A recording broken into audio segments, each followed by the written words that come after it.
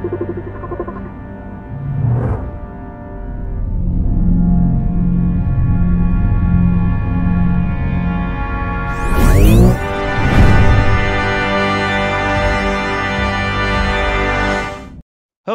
fellow travelers, and welcome to the Traversing the Stars podcast.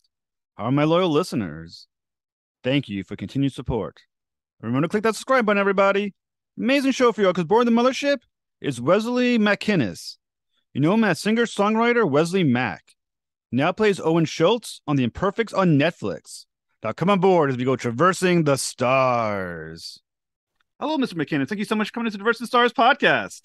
It is my pleasure to be here chatting with you, man. Thanks for having me on. Totally mine. Me and my wife have been binging Imperfects, so this Oh, is damn. my honor. Thank you so much. Oh man, that uh, I'm stoked to hear that. I honestly, it kind of blows my mind. Like you, you, you work on something like that. You know, it's been a year and a half since I shot it, and then and then you know you do interviews, and you, it all of a sudden kind of comes back to life. I had a fellow message me last night who I met in Peru in 2009, and I haven't spoken to since. And just sent a message to me last night. He found me on Instagram, and he's like, "Oh, I just saw your show." And he, like he lives in you know in like in in Peru, it, it just it's it's neat how how that stuff like um pulls people back into your life, and you get to meet people who the show is having some impact on in their life. That's Like- great. Like I said, I- think what the cool thing about Imperfects too is that it's working very quickly through word of mouth because it, it, it- Mhm. it's not you know I didn't see it like streamed heavily on Netflix before as like them advertising it, but word of mouth has been spreading very strongly. Yeah, It's amazing how many people are talking about it, and it's really a smart show.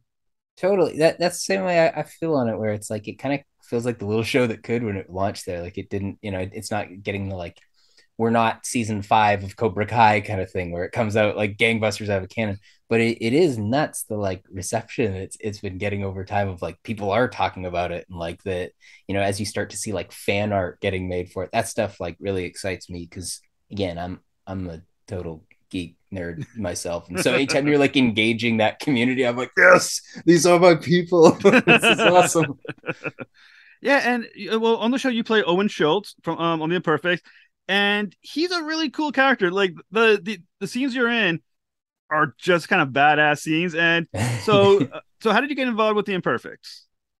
you know, I I auditioned for it. Um, you know, funny enough, I actually originally auditioned to be a different character to do that, and then I was working on another show called Guilty Party at the time, um, which is uh this show with uh, Kate Beckinsale on, on Paramount Plus, and and so I ended up losing losing the role altogether, and I was like, oh no, this is like I was really really really really really bummed about it because like I I loved it from immediately reading it. I was just like, it just kind of gave me like like old school like Buffy the Vampire Slayer Hmm. vibes of just like this like quirky take on like it's taking this trope of an idea and kind of spinning it on its head and I love that. And then and then fortunately I I had another opportunity shortly thereafter where where Owen was was something that I was able to read for. And and I was like, "Oh, this is kind of perfect in, in a weird sense in that like and and then I got to like step into Owen. I'm like, oh, this feels really natural to me. I'm like, I feel like a total geek in this guy where I'm like, this is me. I was just like the, the number of times I had a friend of mine watch it recently, and they're like, "Yeah, it was weird because it was kind of just like hanging out with you, watching you be Owen." Um, like obviously, I you know I kind of get into a different gear by the end of the episode because I'm not usually punching through walls in my normal life. Um, but I, I really relate to him. You know, he feels like this really simple, kind of like altruistic dude who just like. I think there's something so charming about how he's just like, oh, I got powers now. Like, obviously, I'm gonna go and be a superhero and like try and save the day and stuff. And then you get him rubbing against these other characters who, like, I love the response they've given the main cast. How it's not your typical one where they're like, "No, we just want to go back to our life now. Like, let's let's we're not saving the day here. Like, let's you know." The initial gut reaction is like, "This is terrible. This is an Hmm. affliction we have." Um, and admittedly, everybody's power is different on it, so you know it changes their response. But I love getting to be in that dynamic. Um, the push and pull of me being able to be like, come on, guys, like, let's be a super squad. And them being like, dude, you're an idiot. like, you're so naive. Yeah. So it's, it is, is like tremendously fun to be a part of. So when, when you got the role of Owen, what did they tell you about the character? I mean, you like you know like you know he's a geek. Like what what else did they insights did they give you to the character and how to play him? Um, so Dennis, who's like the creator of this, is it was really great at just giving me like there's some stuff that I I won't even share where I feel like I've given he's you know I've been given some insight that that goes further beyond what, what's available with the show now. That was really helpful. Um, but yeah, just having that like early on kind of foresight to even when, when Owen shows up again in, in episode nine, you I feel like you learn a little more about him that like, oh, he came up with like him and Juan were like buds and like just talking about like reading comic books together. Like that really that was the anchor of the whole thing to just be like, what if you spent your whole life imagining what it would be like to be a superhero? Mm. And then you're given that chance. Because that's different than like someone who wants to be uh, anything else. Like it, it's just like all of a sudden being given your dream thing. Mm. Um, but also not being like super socially like I don't know, he, he's he's awkward. He doesn't know what to say. He, he he wants to be the like, you know, I'm a superhero. He wants to have the like Christian Bale voice that he turns on, but that's not really him. And so it's it was really fun. There was like a degree of almost like meta acting with it, where it was like me playing Owen, who is trying to figure out how to play a superhero. Oh, is, yeah. is what it, is what it feels like. he's trying to do the right thing all the time, um, and that's really I find that fun. Like I, I'm a big sucker for the non-anti-hero. I I really mm. love the like classic hero, like riding on a white horse, like so it was like Owen trying to figure out how to be that guy. So we from watching the episode, we all know that Owen has that the big twist later on in the episode. Mm-hmm. Like without giving anything to away, um, but I hope everyone's watched it. Um, there's that twist where we find more about he's not as superhero-y as he thinks he is. Maybe that's the best way to say it towards the end. Yeah, yeah, totally. Um, I I like that because he it throws him in this like conflict of conscience where it's like he's trying to be a good guy and all of a sudden he starts seeing evidence to the contrary. Like if he looks in the mirror near the end of that of the thing he's like oh no shoot he's the villain right now. Like i'm the bad guy. Like when you, when you when i first like saw the episode i'm like oh i assume i'm gonna get killed. Like i'm gonna be a monster of the week kind of thing. And and and and you know like he, so all of a sudden it gets his whole like self is put into into crisis. So actually the first scene that i shot as him is that like where I start to kind of lose it. I go out and I, I punch the the um the column there, um, which I blew my knuckle open doing on Oh shit. I maintain it was COVID related in that like my knuckles were just so dry from hand sanitizing. Like this is still like, you know, kind of early in 2021. So it was just like, you know, the caution was like at, at maximum. Um, so I remember I after like some of the crew being like, "Oh no, like your knuckle." And I'm like, "No, like I think paper would have taken my knuckle open right now because like I barely tagged it." Um, but it, it was fun. That that moment to me was like his whole conflict in one moment to just be like going out and then destroying this thing, and it all of a sudden being like a now you're looking at this piece of property you've just destroyed, and it felt very like metaphorical to me to be like, "Oh no, oh no, this is." So just it's like it was repeatedly trying to do the right thing scene to scene, but like balancing in that I have copper madness. I never heard before, but sure. Hey, yeah, totally. Yeah, it's, it's, a total affliction. Yeah, you gotta watch out for it.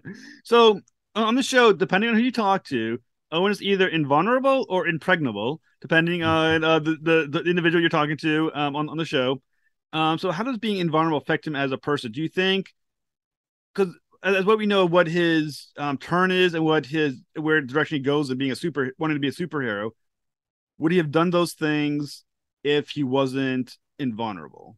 Totally. And that that comes up where like tilda kind of throws that in my face being like you could have done any of this stuff like saving a cat out of a tree and stuff like that doesn't and and i yeah it's an interesting thing. I think he's the kind of guy who would have wanted to do that kind of stuff but I I see Owen as like he's not fearless, you know? Mm. Like he's he I think he's someone who would want to do it but might be freaked out that like oh no what if I fall out of the tree I'll hurt myself. Like I don't see Owen as someone who is like super coordinated right, and right, like, right. top athlete kind of thing.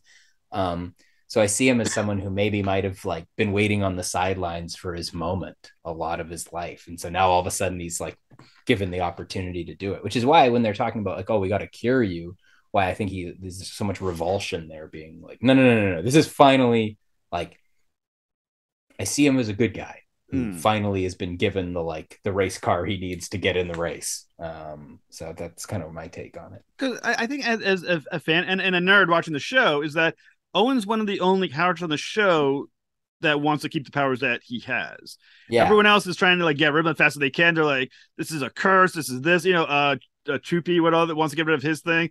And as a nerd who spent my entire life thinking I want to be a superhero, I want, I want Yeah. my powers as well. I don't understand that concept. Like, I wish I wasn't a superhero. It's like, dude, how? Why? But Owen Totally. is me. He wants the damn powers. I, and that's that's where I'm at as well. Like that, I, I just this is where I feel like the casting really fit. Where I'm just like, cool. I've spent my whole life thinking like this. right. Um, so I guess there's no real leap for me. Like I, I do get, admittedly, like everybody else's powers have, I think, more drawbacks. But I guess you could probably think of some for Owen. Like one, he's riding on a fine line of losing his mind. Right, right. Um, you also like, I don't know if Owen ever needed to like have blood taken from him or anything like that. Like I don't know how you do that. I don't know how you get a needle in there.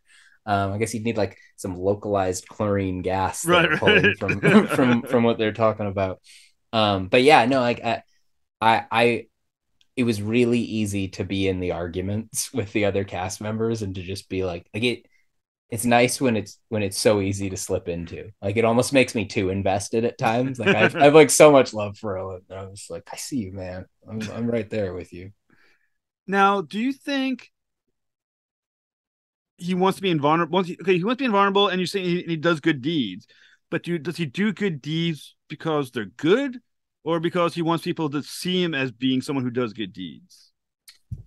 I think it's possible and likely that it's both, you know? I think he likes the idea of the fame and the notoriety, but I also think he's like an altruistic person who wants to do good things. I think everything that I like feel coming off the page with him um leads me to believe it's both, you know, and that he actually is like it's it's he's an interesting character because I find sometimes noble characters can be boring, you know, if Mm. you're just like a true like Dudley Do-Right kind of thing. But what I think makes Owen interesting is the fact that he maybe couldn't do it without the powers. You know, he's not your like perfect superhero like who's always going to be saving the day even even when he can't. I think he might be too freaked out. like honestly, like I feel like Owen. I see this like fear underwriting where it's like he wants like Abbi and Tilda to like him so badly in those things there that like he's trying.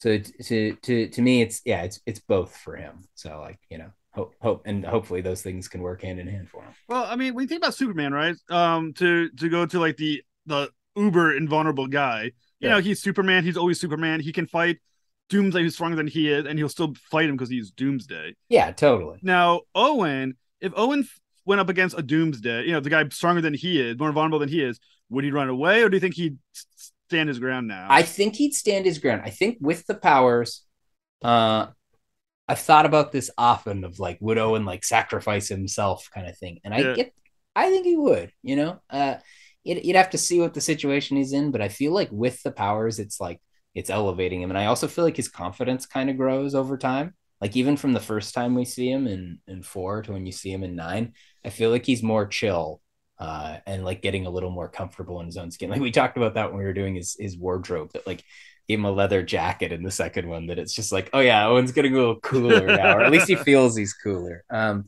so I think given, yeah, I think he would run into a burning building even if it was going to potentially take him down um, with his powers, kind of thing. And and maybe maybe I'd go back on what I said before. Maybe it gets to a point where like I think him with enough confidence, you know, you run this thing forward to season three or something like that. I think he'd do it without his powers. You You know, think I so? think I think people learn that kind of. I, I don't think necessarily like heroic behavior is something that's like inherent to you. Some of it I think is like a learned thing in life where it's like you acquire confidence. Like nobody, most people aren't born with maximum confidence. You like put yourself out there, you see things working, you like you start to trust yourself a little bit more. That's like growing up in life as you find yourself. And I think that's what he's doing. Have you ever seen the movie Three Kings with George Clooney? I don't know if I have. Okay, th- th- there's a line in, in the Three Kings. I'm gonna I'm gonna butcher the line, but it's just basically what it says, um, more or less. It says because there it's about soldiers um who at the after the the um the war in Iraq, the the Gulf War, I mean, um they decided to steal some gold. And so, so what the main guy, the SEAL, Navy SEAL, Marine guy, is talking to one of the other regular soldier guys. He goes, "You do the thing you're scared shitless of, and then you get your courage." And the guy who answered goes, "Well, shouldn't it be the other way around?" He's like, "It should be, but it's not. You do the thing, and then you get courage from it." I I totally agree with that. Um, man, like that. I think about like in my life, um, I, I got to tour with uh with Shania Twain a handful of years ago. Like um, got to do a bunch of arenas and stuff. And I, I remember the first night in um we were playing in Seattle, and I was going up uh, to sing with her. So we did party for two together every night, and I was just like livid beforehand. Like I was standing there side stage, and like it was some of the most nervous I think I've ever been in my life. Like I thought I was gonna like heart jump out of my chest kind of thing, and and then she said my name and introduced me. I'm like, well, I have to go on the stage now and it felt like that where it was like by the next time it was easier to do. But as i walked up those stairs i had no confidence that i would be able to do it. You know it was just like well it's happening. Like we're we're, we're doing it. And then yeah you it's like you create almost a precedent for yourself where you're like the next time you have to do it you can mentally reference like oh well i already did it. Even if i'm quite concerned about whatever mm. this next thing is in life i have evidence that I can do that. So now we can do it again, kind of thing. So I totally agree with that. I think you learn to be confident. So the moment when you first that first time that you saw that you said you kind of had to get your shit together and like do it the first time because you were scared. What made you get through? How did you get through that first try before you had the courage? Uh, I mean, some of that just comes down to like rehearsal and like a bit of autopilot, where it's like I had been playing in a band at that point for 15 years of my life. I had rehearsed that song hundreds of times in the weeks leading up to it. Like it, you you trust the process somewhere along the lines. I, i'm i'm big on that where it's like there are many things in life where like i've never in my life played a show or been on a film set where i'm not quite nervous ever. Like it, it's always there with me. Um but I trust that I've prepped for it. I trust that like I've done literally years of training for for acting and and like played and mm. played music for you just at some point have to like the thing that probably made it work was just like cool the muscle memory and the autopilot is good at that point so like you can trust that yeah i'm i'm big on that like when we when we were doing the Shania tour in in the months leading up to it me and my band we had a six song set for we were the opening act and we ran we rehearsed that more than anything else I've ever done in my life. Like we we had like like probably 100 hours of rehearsal or something and like like way more rehearsal than you need for like all of us knew those songs very well after two rehearsals but we ran them into the ground not because we wanted the show to be robotic but so it could be like then you can have fun. Yeah. Then once you're up there you're like oh cool. I just know how to do this. It's so like baked into me that now we can we can play. Whereas if you're like if you don't have the craft and you don't have the training for whatever it is you're doing, then you're in your head. Then you're trying to be like, oh no, how do we figure that out? And then it's man, it's hard to have fun in those situations. Now, now, do you get more nervous acting or uh, performing? I think it's about the same. Um, and it's funny. I, I've just kind of come to accept it. Like it doesn't bug me as much as it used to. I, you know, I, I when I started out acting, playing you know solo music shows i expected those nerves to just go away at some point. They never really did but it becomes the precedent thing where it's like all right well i've played hundreds of shows and i've been on a bunch of tv shows and been in a bunch of movies. And it's like i know i can do this. So you almost come to it's almost something you kind of look forward to. It's an it's this like excitement and anxiety and adrenaline. They're all kind of wrapped up in it um, together. But yeah they, i feel very similarly before um, right before they call action and right before you step on stage similar vibe now, when when you're difference between singing, I mean, there's a lot of difference between singing and acting. I mean, there's a lot of difference. But one thing I was thinking about is, as you're talking, is that when you're performing, you only got that one take in front of the audience. When you're mm-hmm. acting, if you do screw up, you got the retake and the retake and the retake. How totally. does that affect you mentally, knowing one way you have the ability to keep going, and the other one, this is the only shot you got. You're in front of the audience. You got to do it. Yeah. Um. So a couple things. One, I almost I always like to sort of almost try and apples to apples them as much as I can, where it's like the equivalent is more like I feel like the recording studio in music is closer to like film and TV, yeah. and then like doing a play uh, as an actor uh, uh, uh, versus versus like um, like a live performance as a musician. You know what I mean? Where it's mm. like there are components of those that lock up. Um, you know, because it's the same deal when you're like singing a take in a recording studio, you can do it as many times as you need to. Whereas if you're, you know, doing it live, you got to hit it. There, there's like nerves to both. I mean, um, it is different. There's something when you're doing anything live you kind of have to throw it away and like micro analyze it a little bit more or, or a little bit less. I mean, there's certainly still like pressure of takes. Like most of the time when you're doing TV, it's not like some of the bigger films I've been on where it's like, cool, you really get a lot of takes. Whereas like sometimes on TV stuff, you get two takes and you're moving on. So it can feel it can feel similar to be sure. Um, I don't know. I I always feel like I do my best acting takes when the camera is not on me. And it always frustrates me that it's like, you know, camera's on you and you're like maybe a little more tense. And then it's like you flip around to the other person and you're like, I'm the greatest actor ever over here. No one's no one's seeing this. Um, I don't know, man. Uh, with with all of it, what I try to do is be as unfocused on the product as I can be and more just like in process at all times mm. and be hmm. like, cool, just like just keep doing the thing, keep working the thing, keep going back to what you know as an actor, as a musician, just dive into the song, you know what you're doing. And like, you just can't control, like, especially when, you know, well, with anything, you just have no control over final product. Like, you're not the one editing it. You're not the person in the crowd. You don't know what kind of day they're having. You don't know what will connect with them. So it's, you trust your instincts and do the best you can. So, so one thing there being, you have two different skill sets. You know, you have the singing, performing, and you have an acting how much do the skills intersect? Because as a singer, I imagine it helps being able to act because I feel like even though you're singing a love song, you're not always in love at the exact moment you're singing your mm-hmm. song and that thing. However, as an actor, a lot of that is I can't imagine that the ability to have a, a range of voice and whatnot helps you with that. How yeah. interconnected are these skills for you? I think hugely. There's a bunch of overlap just in performing in general. Uh, the voice thing is actually really helpful. Like I, I find it allows me to adopt different voices. It gives me a lot of vocal longevity where I know like you can blow your voice as an actor as well. Like if you need to be really projecting or you're in a scene that's really animated and you're yelling in someone's face or something. Um, I find people sometimes without a lot of vocal training can really fry their voice doing that after a couple of takes, where if you're not mm. supporting it with breath, um, because that's part of it. Like longevity matters there, where it's like if you can be spot on for one take, that's great, but that might not be enough. You know, right. you might need, you got to get a bunch of coverage of it. we got to, you know, you, you shoot days that are 12 hour days or, or, or longer sometimes. Um, yeah. So it's, it's helpful there. Um, yeah. And then it's also just, yeah, that whole sort of performance thing. Like it's definitely having, having voices that you can pull into both and just being able to like find something to connect to, um, be it in, in a song or in a script.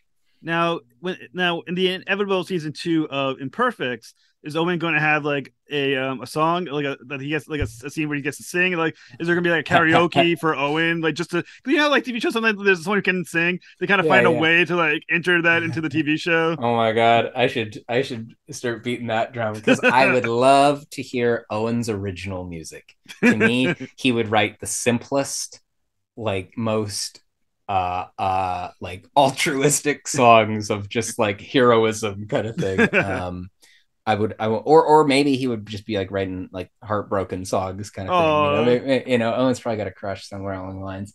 Um i would love that. Owen, owen the singer would would be very entertaining. I feel like like the, the the show in the imperfects we, we lost out a little bit on, on the in season one. We didn't get the singing owen and we didn't get owen backstory really. I mean i don't i feel like owen is a character who should have an Owen TV show that focuses on who he at least at least a one shot where you just get his storyline, you know?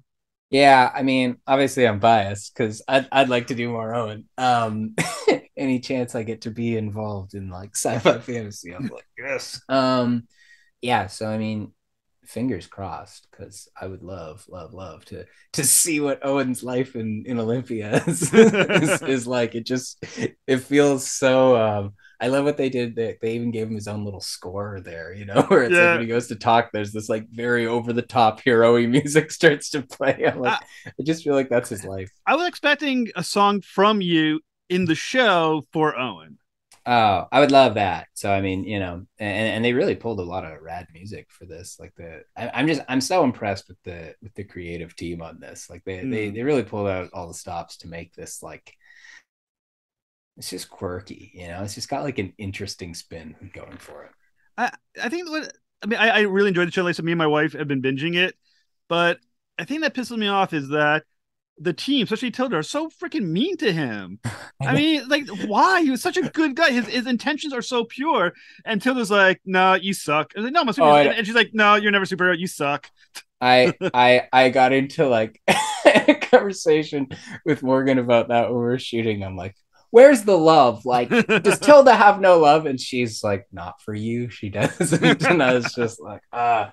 But you know, so like, yeah. I, admittedly, it's like you, you you wear your heart on your sleeve when you do that. Like in those takes, I'm I'm like sad doing it because I'm like I know I have to lose, but you have to re- like you have to go for the objective. You can't go in knowing you're gonna lose. So you got to go into every one of those scenes trying to make like all of them like you. The- Come on, guys, like super squad. So yeah, it's it's heartbreaking. But I also I was jazzed to get to do in in later in the season to have what felt kind of more like the with power comes great responsibility speech with, with Juan. I was I was referencing that at the time. I'm like, I'm totally Ben Parkering right now. all right. I'm into that. So that felt it felt even like a modicum of of like arc for Owen, where it was like I was getting through to him a bit. it was driving me crazy. Like Abbi and whatnot, they all every other uh imperfect powered character they're like embracing hannah who betrayed them like no she's good now everyone else they're like even the uh, the scientist uh alex who screws them over multiple times they're like nah he's one of us he's a team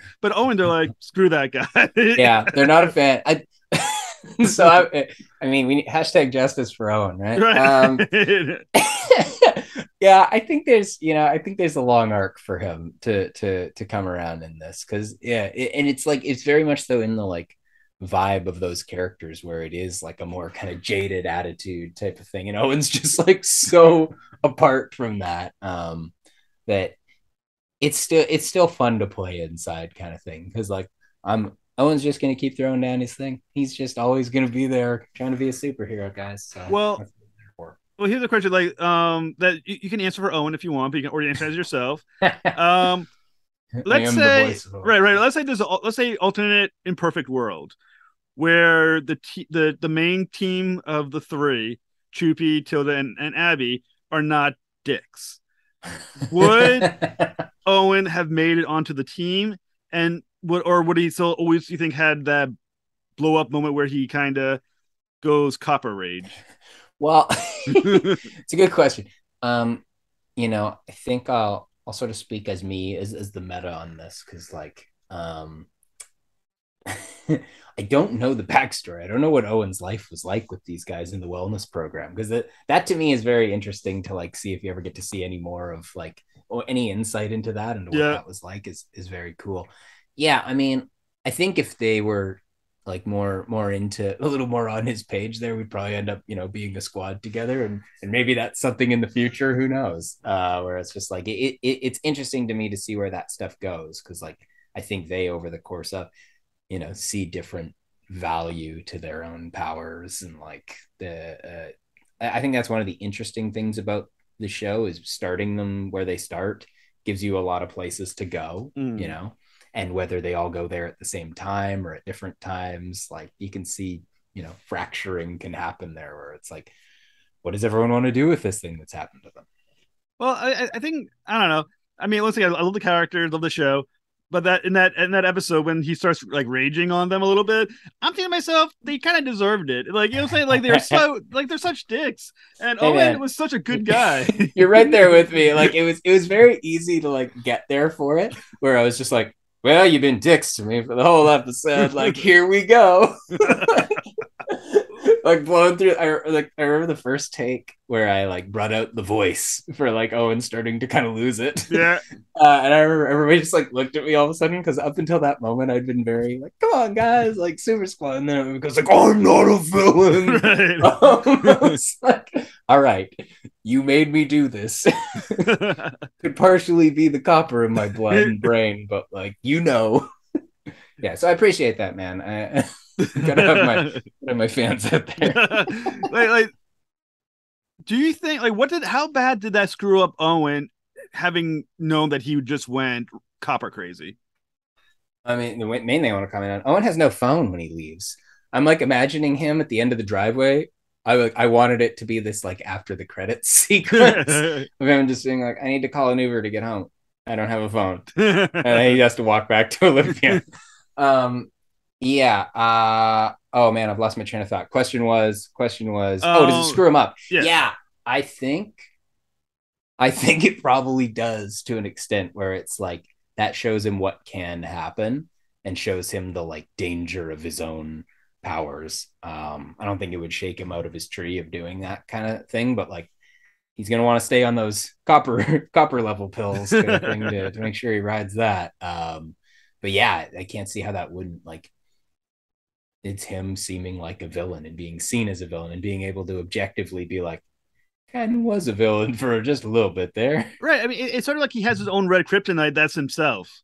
Yeah, Yeah. like because Superman fought himself a few times, and was Superman three? He fought the evil Superman version of himself Yeah, with yeah, red kryptonite. Owen is his own red kryptonite, which kind of has to suck. Yeah, oh totally. And I mean that seems to be the thing with this show. Like all these powers have a pretty like acute barb to them. You know what I Hmm. mean? Like there's no one on there who's got like a perfect like la di da kind of thing. Like, you know, mine, I miss my pills for two days, I completely lose my mind and start murdering things and eventually become solid metal. so uh uh yeah um it it's i just find it in it's interesting that they've they've done that where it's like the powers in this are not so written like there isn't someone who's just got like obvious awesome powers usually these shows have at least a few people where it's like oh yeah no real drawbacks over there like Right, owens right. is probably the closest to drawback free but like there's a drawback don't miss your pills man yeah, drawback. He could kill everybody, which yeah could might be kill everyone he loves uh, so watch out so, Uh, so I'm gonna put you on the spot a little bit. Um, because of you know we had season one. What do we know of what where Owen was going to go in season two?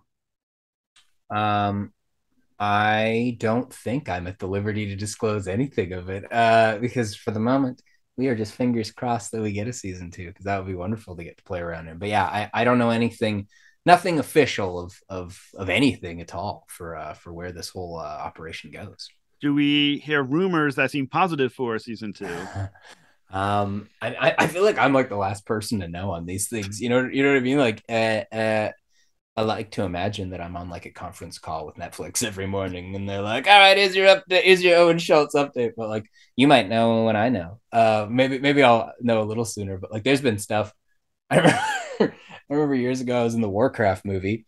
Um, and then my cousin went and saw it before I did, and he's like, "You got cut out of the Warcraft movie." Oh And I was no! like, uh, I was only in it for one scene, um, and then yeah, sure enough, like my name's in the credits, but I don't actually show up in it. So that's that's one of my larger instances. Like that that happens fairly often where like scenes get cut. Like I've had scenes cut out of when I was in Smallville. I remember some of my scenes were cut. Um, you know, and a lot of that's just time. Like when it really comes down to it, of like Hmm. you often shoot more than you actually have space for in the edit, and you got to manage pace and like I don't know, I do a fair bit of um, directing as well. So like I get that. Like I, I direct a number of music videos where I've shot sequences that I love, but to just sink the pace of it. Like we just don't have time, and so I'm always just like I don't know, cut them into something later. But like, what do you do with it? Um, so yeah, it's a, I've lost the question again. I, I wandered. I Um, rambled. I did it. I, I was gonna have you guarantee me that there's a second season of Imperfect. I think is, is All there right. something was where we right. were headed? That's a that's an Owen ironclad guarantee or a copper guarantee. Man, I certainly hope so because holy smokes, to get to do more days of that and working with those people So- would be a blast. So how likely is the Owen Schultz comic book then? You assume that one of these companies would make a perfect spin-off and make an Owen Schultz comic book series that we can then purchase as we wait for Imperfect season two, which is probably definitely happening. what I want is Choopy and Peanuts. This is the thing. I, I, I, I, I put a I made like a, a, a bad graphic of it while while we were filming the last episode that I was in, and and uh, me and Kiki shared it the other day. Um, or um, and and basically, I mean that would be the dream. So, we we just kept joking that it would be a, a fun spin off of just like because it just feels like our one like escapade there is very Scooby Doo. just like all right, we're gonna go find this. Oh, we found gun runners instead. Like Right. might it might be a meth lab. Um, so yeah, any anything like that. I like I like the hijinks of that. It's it's fun. but yeah, man, if if that was in a comic book, um, it, it, it would be right. I also the, the the the comic book that they did for this show that like Juan draws on the on on the show is so rad to actually like have in your hands. oh The, uh, really? there's I found the um I unfortunately don't recall the uh their, their name, but I found the person on Twitter and started following them. The actual graphic artist who did it, like the that I think was it was it Skull Candy maybe? I'm trying to remember the name of it. I'm I'm now blanking I apologize. Um but it just it looked beautiful. Like I and I got to ha- hold it in my hands. So all those scenes I was very distracted and just like really like oh this thing's freaking rad Oh, that's so cool. So yeah, so I, I, do think the future does should have a comic book and an action figure. Owen has how does Owen not have an action figure? yeah, it would be it would have to be made of metal. his would have to be metal. Everybody else's could be plastic and stuff, but his would have to be like dense metal. That'd be put it on your coffee table and it scratches things yeah, that's uh, what we're going for. Well, sir, thank you so much for coming on the show. I look forward to Imperfect season two, which we're we're now announcing ourselves because we wanted to happen. yeah, I think I think if you just keep willing it strongly enough here, that's uh, if, that's, if, that's if you keep repeating, people the, the, the, producer may even be like, "Oh shit, we are doing a season two. Oh shit, okay, yeah, well, yeah. You know what, let's just yeah, just really just start the rumor, just right. just get that going, uh, uh, that it's definitely happening, and, and, eventually it feeds back, and so everybody just goes, "Well, I guess we're doing it." So, right. well, thank you so much, sir. You're you've been fantastic. Uh, it's been my pleasure, man. Thanks for having me.